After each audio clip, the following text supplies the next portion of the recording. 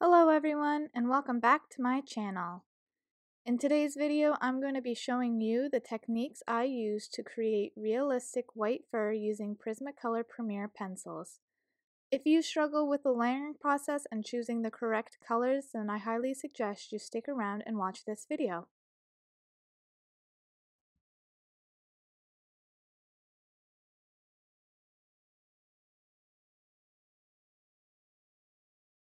Let's get started. Using a medium to light pressure, I use a nail dotting tool to create fine lines.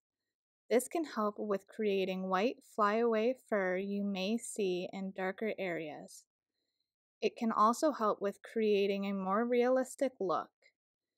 And then after that, I put down white to keep areas a little lighter for when you start layering colors on top. Then, using a light touch and going in the fur direction, I'll be layering warm gray 10% all over and cool gray 10% for the base layers. I try to put the cool gray in the darker fur patches only. At this point, you should be able to see your flyaway fur and see where you've put down your white pencil.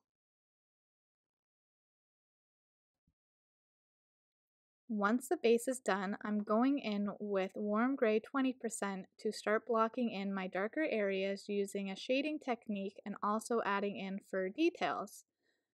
After blocking in where I want the dark areas to be, I go in with cloud blue to add in cool tones that you can see in the reference photo.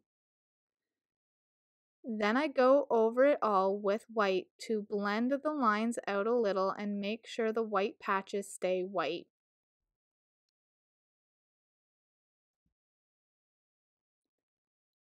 I'm now going in with warm gray 30% that I now realize isn't on my color swatch list to add a little more depth in the fur and create a more realistic look. Before adding more details, I went over with a light touch using warm gray 10% and cloud blue to blend the colors together.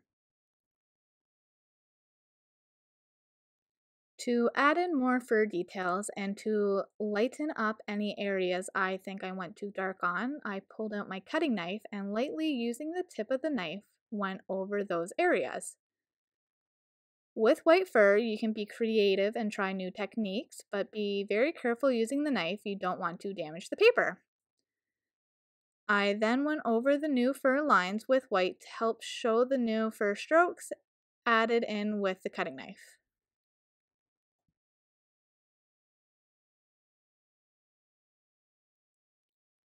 To further help show the new fur strokes, I go in with warm gray 50% and carefully go around the fur lines that you should see from the dotting tool and from the knife. At this point, I noticed I needed to go a little darker in some areas, so I added cool gray 90%, but I didn't use a hard pressure and use the flick motion to create more fine fur details.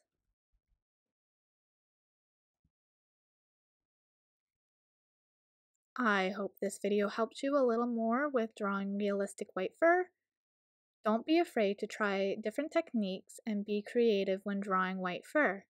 With white fur, you can add in many colors depending on your reference photo, since white fur reflects the colors that is in the background.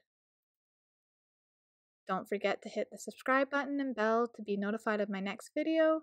Also, please let me know what color do you like to see next or if you'd like a full-time video on drawing fur. If you like this video, please be sure to give it a thumbs up down below. See you in the next video!